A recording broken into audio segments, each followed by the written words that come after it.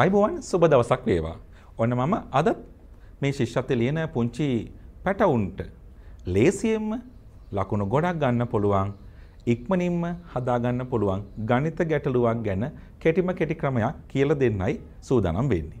මගේ දුවල පුතාලා දන්නවා හැඩතල ගැන. ඉතින් මේ හැඩතල තුල හැඩතල සංගවල තියෙනවා. ඉතින් අද මම ඍජුකෝණාශ්‍රය කියන මේ හැඩතලය කොහොමද ඍජුකෝණාශ්‍රයක තියෙන්නේ. නැත්නම් ඍජුකෝණාශ්‍රයක් කියන මේ හැඩතලය තුල ඍජුකෝණාශ්‍ර කීයක් තියෙනවද කියලා. පුංචි උපක්‍රමශීලී ක්‍රම කීපයක් භාවිතා කරලා ලේසියෙන් ඉක්මනින්ම හොයාගන්න කියලා දෙන්නයි සූදානම් වෙන්නේ. ඉතින් දුවේ පුතේ ඔබට පේනවද මුලින්ම අපි ඉදිරිපත් කළ තියෙන පුංචි පහසු ප්‍රණය. බලන්නකෝ මේ දකින රූපයේ ඍජුකෝණාශ්‍ර කීයක් තියෙනවද කියලා. ඔබට බැලූ බැල්මට බොහොම ලේසි ගැටලුවක් තමයි ඉදිරිපත් කරලා තියෙන්නේ. අපි ලේසි ගැටලුවට විසඳුම් හොයන ක්‍රමය සාකච්ඡා කරලා ටිකක් අමාරු මීට වඩා සංකීර්ණ ගැටලු දෙක තුනක් හදලා අත්දැකීම් ලබා ගමු. ඔබට වැඩි වෙලාවක් යන්නේ නැතුව නිවැරදි පිළිතුර හොයාගන්න අපේ මේ වීඩියෝක නැරඹීමෙන් හැකියාව ලැබෙනවා. ඉතින් දුවේ පුතේ ඔබ ප්‍රශ්නේ හොඳට කියෙව්වද? ඔබට පේනවා විශාල ඍජුකෝණාශ්‍රයක්. ඒ ඍජුකෝණාශ්‍රය කුඩා ඍජුකෝණාශ්‍ර හතරකට බෙදලා තියෙනවා. අපි බලමුද කොහොමද මේක හදන්නේ? ඔබ ළඟත් ක්‍රමයක් ඇති. නැත්නම් ක්‍රම කීපයක් ඇති. මගේ ළඟත් ක්‍රම කීපයක්ම තිබෙනවා. නමුත් මං එක ක්‍රමයක් අද ඔබට ඊටාම හොඳින් පැහැදිලි කරලා දෙන්න තමයි සූදානම් වෙන්නේ. ඔන්න දුවේ පුතේ මම වයිට් බෝඩ් එකෙත් ඔබ දැකපු ප්‍රශ්නයට අදාළ ඍජුකෝණාශ්‍රය ඇඳා. ඔබට පේනවනේ ඍජුකෝණාශ්‍රයක් කිව්වම කොහොමද හඳුනාගන්නේ? එය චතුරස්‍රයක්. චතුරස්‍රයක් කියන්නේ පැති හතරකින් යුක්ත සංවෘත රූපයක්. සංවෘත කියන්නේ වැහුණු රූපයක්. පැති හතරක් තියෙන්නත් ඕනි, වැහිලා තියෙන්නත් ඕනි. ඉතින් එතකොට ඍජුකෝණාශ්‍රයේදී අර මේ ඉදිරියෙන් තියෙන රේඛාවල් නැත්තම් මේ පාද දිගින් සමාන වෙනවා. නේද? දිගින් සමානව. සමචතුරස්‍රයක් වගේ පැති හතරම සමාන නොවුනත් මේ ඉදිරියෙන් තියෙන ඒවා මූණට මූණ බලනවා වගේ තියෙන්නේ. ඒ රේඛාවල් දිගින් සමාන වෙනවා. අපි කොහොමද කෙටියෙන් ඉක්මනින්ම මේ වගේ ගැටලුවකට උත්තර හොයන්නේ. මෙහි ඍජුකෝණාශ්‍ර කීයක් තිබෙනවද? කුඩා ඍජුකෝණාශ්‍ර, කුඩා ඍජුකෝණාශ්‍ර එකතු වෙලා හැදෙන ලොකු ඍජුකෝණාශ්‍ර, ඒ වගේම ඔක්කොම ඍජුකෝණාශ්‍ර එකතු වෙලා හැදෙන ලොකුම ඍජුකෝණාශ්‍රය ඇතුළු ඔක්කොම ටික ගණන් කරගන්න මොකක්ද අපි භාවිත කරන කෙටිම ක්‍රමය කියලා ඔන්න දැන් මම ඔබට පැහැදිලි කරලා දෙනවා. දුවේ පුතේ අපි හැරෙමු ස්ක්‍රීන් එක පැත්තට. මෙන්න බලන්නකෝ මම මේ අංක දානවා මෙන්න මෙහෙම. කොහොමද අංක දාන්නේ? එළියෙන් අංක දානවා මේ පහළට තියෙන තනි ඍජු කෝණාශ්‍ර ගණන. තනි ඍජු කෝණාශ්‍ර දෙකක් අපිට පේනවා. මේ කොහොමද අංක දැම්මේ? පහළට. ඊට පස්සේ හරස් අතටත් මං අංක දානවා. මෙන්න මෙතන තියෙනවා ඍජු කෝණාශ්‍ර එකක්, එකයි දෙකයි. එකයි දෙකයි. මේ පහළට මේ පැත්තට මම ලියනවා හරහට. දැන් කොමක්ද කරනවා ඇත්තේ? හරිම සරලයි. අපි මේ පහළට ලැබුණු නේද? ඍජුකෝණාශ්‍ර ගණන එකයි දෙකයිනේ. ඒ දෙන්න එකතු කරගන්නවා. 3යි කියලා උත්තරයක් එනවා. ඊළඟට මම ඔන්න පහලට 3ක් උත්තරය ආවා. හරහට මේ දෙන්නත් එකතු කරගන්නවා. ඒ දෙන්න එකතු කරගත්තම 1යි 2යි 3යි ඊට පස්සේ හරහට ලැබුණු පිළිතුරත් ඔන්න ගුණ කරගන්න. ඔන්න දුවේ පුතේ අපි දැන් මොකක්ද කළේ? ඍජුකෝණාශ්‍රේ පහළට තියෙන තනි ඍජුකෝණාශ්‍රවලට එක දෙක කියලා අංක දැම්මා. ඊට පස්සේ ඒවා එකතු කරා 1 2 3යි. ඒ වගේම හරහට තියෙන ඍජුකෝණාශ්‍රවලටත් අංක දැම්මා 1 2 මෙන්න 1 2 කිරුවා ඒ දෙක එකතු කරගත්තා 3යි. ඉන් අනතුරුව කුමක්ද කරන්නේ? ඉන් අනතුරුව පහළට ලැබුණු ඍජුකෝණාශ්‍ර ගණනේ එකතුව ගුණ කරනවා හරහට තියෙන ඍජුකෝණාශ්‍ර ගණනේ එකතුවෙන්. එතකොට පහලට රිජිකෝනස තුනක් අපිට පේනවා මේ එකතුව ලෙස ලැබුණ හරහට රිජිකෝනස තුනයි කියල එකතුව ලැබිල තියෙනවා තුන්වරක් තුන ගුණ කරනවා. තුන්වරක් තුන ගුණ කරාම පිළිතුර ලෙස ලැබෙනවා නවය. ඒ කියන්නේ මෙම රූපයේ රිජිකෝනාස නවයක් තිබෙනවා. මෙම රූපයේ රිජිකෝනාස නවයක් තිබෙනවා. දැන් ඔබ කල්පනා කරනවා ඇති අපි හරහට ලිව්වා එකයි දෙකයි කියලා ඊරස එකයි දෙක කොලා තුනයි කියලා ගත්තා. පහලටත් ඍජුකෝණාශ්‍ර දෙකක් තිබුණු නිසා එකයි දෙක කියලා තුනක් කියලා ගත්තා. තුන් වරක් තුන නවයයි. කොහොමද මෙතන ඍජුකෝණාශ්‍ර නවයක් තිබෙන්නේ? දැන් ඔබට පුංචි ගැටලුවක් ඇති.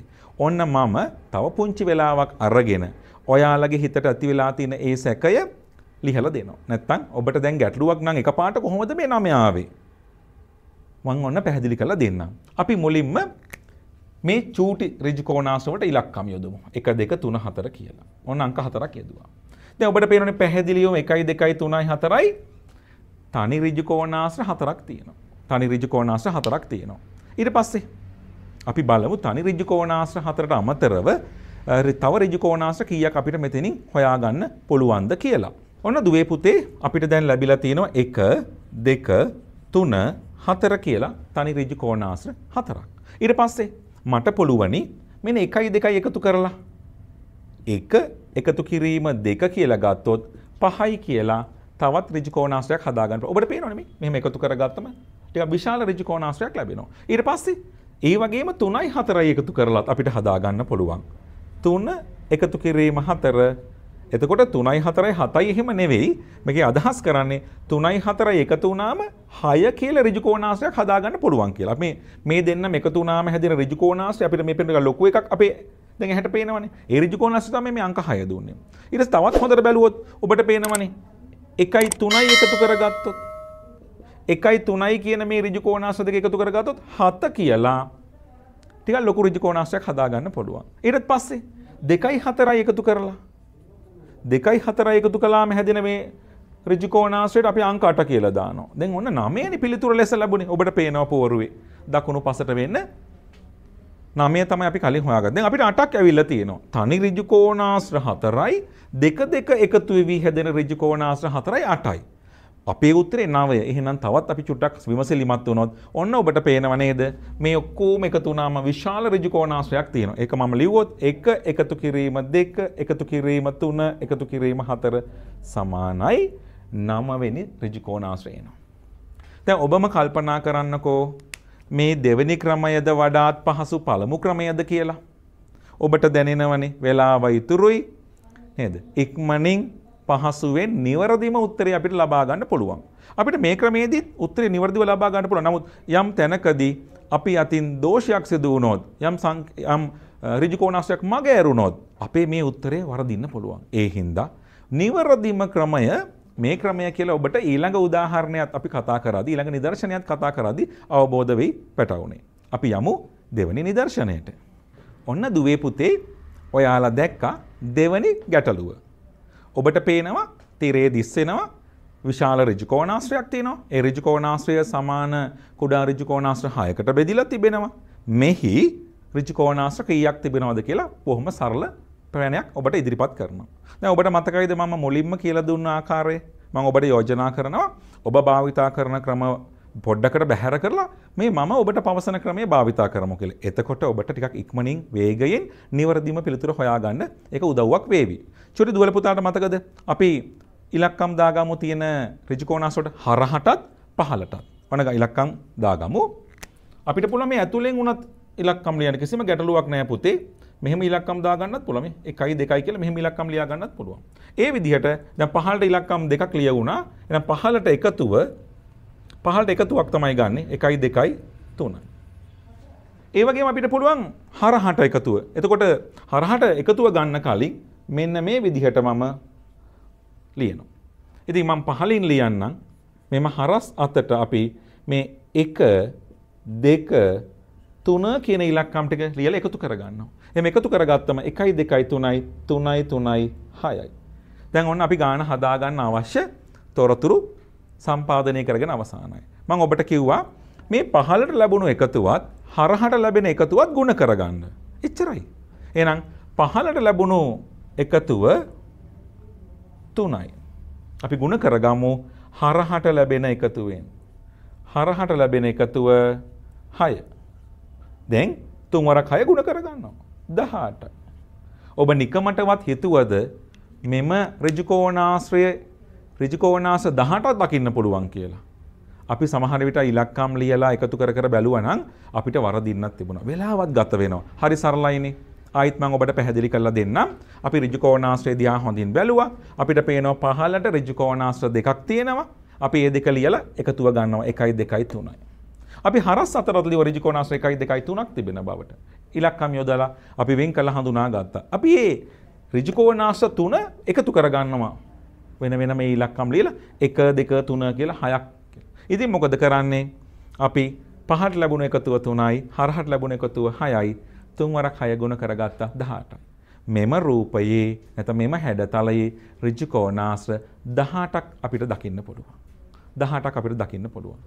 ඉතින් පැටව් දැන් ඔන්න ඔබට දැනෙනවා සතුටක් ඉතින් ඔය සතුටත් එක්කම නේද අලුත් දෙයක් ඉගෙන ගත්ත කියලා හැඟීමක් සතුටක් ඔබට දැනෙන්නේ නැති. ඉතින් දුවේ පුතේ අපි තවත් ගණිත ගැටලුවක් විසඳලා ඔබේ දැන් අද මේ ලබාගත් දැනුම තව ටිකක් වර්ධනය කරගන්න උදව් කරන්නම්. ඔන්න දුවේ පුතේ තුන්වෙනි නිදර්ශනය. ඔබත් සමග සාකච්ඡා කරන තුන්වෙනි ගණිත ගැටලුව ඔන්න ඔබ දැන් දකිනවා. ඔබ තීරය දකිනවා. ඍජුකෝණාශ්‍රයක් දීලා තියෙනවා. ඒ ඍජුකෝණාශ්‍රය කුඩා ඍජුකෝණාශ්‍ර 6කින් සමයි සමන්විත වෙලා තියෙන. එහෙම නැත්නම් විශාල ඍජුකෝණාශ්‍රය කුඩා ඍජුකෝණාශ්‍ර 6කට බෙදිලා වෙන් වෙලා තිබෙනවා. අපෙන් අහනවා මෙම රූපයේ නැත්නම් මෙම හැඩතලයේ ත්‍රිජිකෝණාංශ කීයක් තියෙනවද කියලා. අපි දැන් අර ඔබට කියලා දුන්න මම ක්‍රම දෙකක්. හැබැයි වැඩිපුරම භාවිතා කරන්න කියලා මම ඔබට යෝජනා කරනවා. මම කියලා දුන්න පළමු ක්‍රමය. දෙවෙනි ගානට භාවිතා කරපු ක්‍රමය තමයි ඔබ වඩාත් වැඩියෙන් භාවිතා කරනෝනේ වෙලාව ඉතුරු වෙනවා. නිවරදිම පිළිතුර අපිට ලැබෙනවා. අපි ඉලක්කම් යොදා ගමු මේ ත්‍රිජිකෝණාංශ වලට. ඔන්න පහළට ඉලක්කම් යොදු 1 2 3. පහළට පේනවා නේද? ත්‍රිජිකෝණාංශ තුනක් තිබෙනවා. අපි මේ තුන එකතු කරගමු. 1 2 3යි 3යි 3යි 6යි. මේ පහලට මේ රිජිකෝනාශ්‍රවලට යොදපු ඉලක්කම් පිළිවෙලට පටන් ගන්න ඕනේ. එකෙන් හොඳද මතක තියාගන්න ඕනේ. ඒ ඉලක්කම් ටික එකතු කරගත්ත හයක් ආවා. හරහට දෙකයි තියෙන්නේ. හරහට දෙකයි තියෙන්නේ. එතකොට හරහට එක එකතු කිරීම දෙක එකතුව තුනයි. දැන් අපිට පේනව නේද පහලට ආපු එකතුව. ඒ වගේ අපිට පේනවනේ හරහට ආපු එකතුව. දැන් කුමක්ද කරන්නේ? පහලට ලැබුණු එකතුව පහලට ලැබුණු එකතුව ಗುಣ කරගන්නවා හරහට ලැබුණු එකතුවෙන්. පහලට ලැබුණු එකතුව හයයි හරහට ලැබුණු එකතුව තුනයි. ගුණ කරගම්මු හයවරක් තුන දහටයි. මෙම රූපයේ නැත්තම් මෙම හැඩතලයේ සියලුම රිජිකෝනාශ්‍රවල එකතුව දහටයි. අපිට වැඩි වෙලා ගත වෙන්න. මට දැනෙන විදිහට අපි තව උදාහරණ දෙක තුනක් සාකච්ඡා කරොත් ඔබට තත්පර දහයකින් පහළවකින් ඉක්මනින්ම පිළිතුරු ගන්න පුළුවන්. ඒ විතරක් නෙවෙයි මනෝමයෙන් වුණත් නේද කටු සටහනක් භාවිතා නොකර වුණත් ඔබට ඉක්මනින්ම උත්තරය ලබා ගන්න පුළුවන්. ඒකට මම යෝජනා කරනවා ශිෂ්‍යත්ව විභාගෙදී නම් මනෝමයෙන් හදන්න යන්න එපා. අපි කටු සටහනක් භාවිතා කළා නැත්නම් කටු වැඩ කොලයක මේ දේවල් සටහන් කරගෙන හදලා බලමු. එතකොට ඔබට වරදින්නෙම නැහැ. තව එක මේක උදාහරණයක් ඔබත් සමග සාකච්ඡා කරන්න මම කැමතියි. ඉතින් මම ආරාධනා කරනවා ඊළඟට ඔබ දකින ගණිත ගැටලුව ඉතා ඉක්මනින් ඔබ මනෝමයෙන් හදන්න. මනෝමයෙන් හදලා මා සමග සාකච්ඡාවට එකතු වෙලා ඔබේ පිළිතුරේ නිවැරදි භාවය පරීක්ෂා කරගමු. ඔබ අනිවාර්යයෙන්ම ගණිත ගැටලුව ඉක්මනින්ම හදලා නිවැරදි පිළිතුර ලබා ගන්නේ කියලාත් මම විශ්වාස කරනවා. ඔන්න දුවේ පුතේ ඔබට පේනවා හතරවෙනි ගණිත ගැටලුව. එහෙම ගණිත ගැටලුව දිහා හොඳට බලන්න. ඍජුකෝණාශ්‍රයක් වෙනවා විශාල ඍජුකෝණාශ්‍රයක්. විශාල ඍජුකෝණාශ්‍රය තුල පහළට ඍජුකෝණාශ්‍ර තුනක් තිබෙනවා. අපි යාලට ඉලක්කම් යොදමු 1 2 3. සුපුරුදු පරිදි පහලට යෙදිලා තියෙන මොන අපිට එක දෙක තුන කියලා අපි ඉලක්කම් යොදාගත්තා. අපි සුපුරුදු පරිදි මේ පහලට යොදාගත්ත ඉලක්කම් වල එකතුව ගනිමු. පහලට ඉලක්කම් තුනක් තිබෙනවා. 1යි 2යි 3යි 3යි 3යි 6යි එකතුව 6යි. හරහටත් අපි ඉලක්කම් යොදා ගමු. 1 2 3 4 හරහට යොදපු ඉලක්කම් වල එකතුව අපි ගම්මු 1යි 2යි 3යි 3යි 3යි 6යි 6යි 4යි 10යි. මෙවර ටිකක් විශාල අගයක් ඇවිල්ලා තිනවා. 6 4යි 10යි. දැන් කොහොමද අපි කරන්නේ? පහලට ලැබුණු එකතුව 6යි හරහට ලැබුණු එකතුව 10යි. දැන් කොහොමද කරන්නේ? 6 වරක් 10 ගුණ කරනවා 60යි. ඔබ විශ්වාස කරාද මේ වගේ රූපයක ඍජුකෝණාංශ 60ක් තියෙයි කියලා? ඇත්තරම තියෙනවා. අපි ඉලක්කම් යොදමින් හදන්න ගියොත් ගොඩක් වෙලාව ගත වෙනවා. මෙච්චර අමාරු ගානක් ඔබෙන් විභාගයට අහන්න ගන්නේ. නමුත් ඔබ දක්ෂ කරවන්න. ඔබ ටිකක් නේද වේගෙන් ගණන් හදන කෙනෙක් බවට පත් කරන්නයි මම මේ උදාහරණයත් ඔබට මේ පැහැදිලි කරලා දුන්නේ. බලන්නකෝ. අපි මේ වගේ ගණිත ගැටලුවක් දැක්කොත් තප්පර කීපයකින් අපිට පුළුවන් පිළිතුර හොයා ගන්න. සරලව ආය මතක් කරගත්තොත් අපේ අපි අනුගමනය කරපු ක්‍රමය පහලට ඉලක්කම් යොදනවා තියෙන ඍජුකෝණාශ්‍ර ගානට අපි මොකද කරන්නේ? ඒ ඍජුකෝණාශ්‍ර ගාන 1යි 2යි 3යි කියලා ආවා. එකතුව ගත්ත 6යි හරහට ඉලක්කම් යදුවා. 1 සිට 4 තෙක්.